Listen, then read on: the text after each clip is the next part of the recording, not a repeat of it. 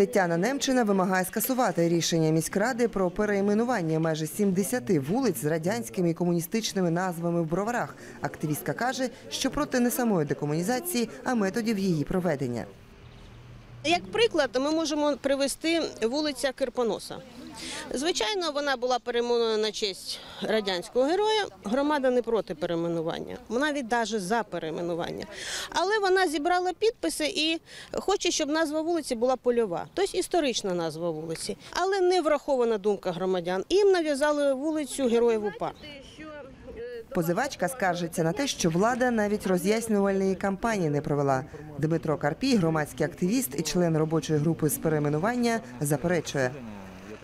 У нас публікували у ЗМІ масово, зокрема в газетах, які доносили до кожної хати, публікували ці пропозиції. Тобто не знати не могли. Люди е, свої пропозиції надсилали у вигляді звернень, їх розглядала комісія.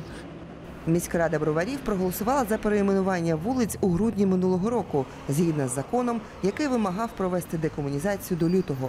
Наскільки взагалі перспективні подібні судові позови?